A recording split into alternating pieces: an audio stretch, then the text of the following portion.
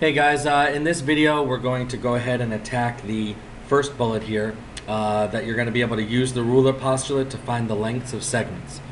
Alright, here actually is the ruler postulate and to sum it up, it's basically just that every point that you have, any points you want, A, B, C, D, whatever, there's an x coordinate that you could match it up with one to one. So A has a specific x coordinate you can match it up with, B has a specific one, C, D, E, however many you've got. And just for ease, you know, we typically will will list it out horizontally. You can almost think of it like the x-axis.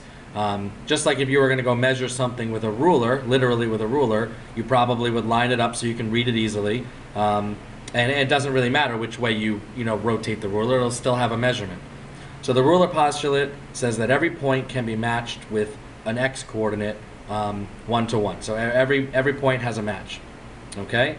The distance then can be found, and the distance is written as just AB here. Notice there's no symbol on top. There's no notation for that other than just simply putting the A right next to the B. And that by default means distance. So this is the distance between A and B when you write it this way. And if every point has an x coordinate that it matches up with, then to find that distance, you literally just find the actual length in between. All right? And mathematically, you can just take the difference of those two values, whichever one you want to do first, it doesn't really matter. And as long as you take the absolute value, you'll get the correct, the correct distance. Because distance, of course, has to be positive. All right, so this is kind of a, a pretty involved way to do something that you probably already know how to do. For example, if I want to try to find the length of segments here listed on this picture, you know, EF or FG or EJ or whatever it is, I would literally just find the difference of the two values in question, the ones that match up, and take the absolute value. So this first example wants the distance EJ. Well, E is at 1 and J is at 7. So if I subtract them, I'll get the value that represents the distance, in this case 6.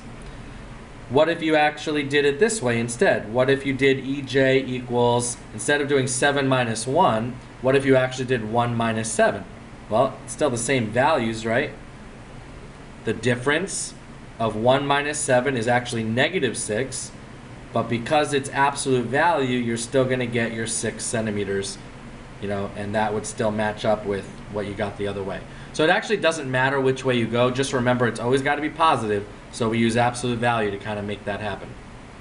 All right, that's essentially how you do uh, the, you find the distance using the ruler postulate. Let's do a couple examples together, make sure it's all good. This first one wants the distance between E and G. So E is at 1 and G is at 5.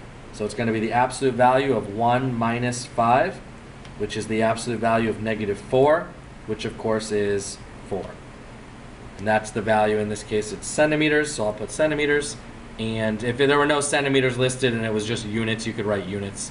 Um, but the, the main idea here is to take the difference of the two values and literally find the absolute value and you're good to go. How about EF? E starts at 1. F looks like, you got to approximate here a little bit. Uh, looks like about 2.5 I'm going to go with. So EF equals the absolute value of 1 minus 2.5 which is the absolute value of negative 1.5, which is just 1.5. And some of you looking at this are saying, Mr. Miller, why don't you just do it the other way so you don't have to worry about doing absolute value? And that's fine. If you look at that and you're saying, I want to go 2.5 minus 1, no problem. The beautiful thing about it is it doesn't actually matter. As long as you know what you're doing, it doesn't make a difference which way you go. How about FH? I'll do it the other way this time. F is at 2.5 and H is at 5.5. So I'm going to go 5.5 minus 2.5, which of course is just 3. So 3 centimeters. And that's it. That's how you use the ruler postulate to find distance.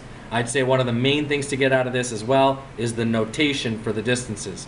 Sometimes people look at these and say, oh, that's a segment, or oh, that's a line or a ray. But remember, those have special symbols that go on top to represent that. When you don't see a symbol on top, that by default means they want distance. If it's two letters, they want the distance between those two points. All right, that should take care of the ruler postulate for you. If you need any help, be sure and ask, and I'll talk to you guys later.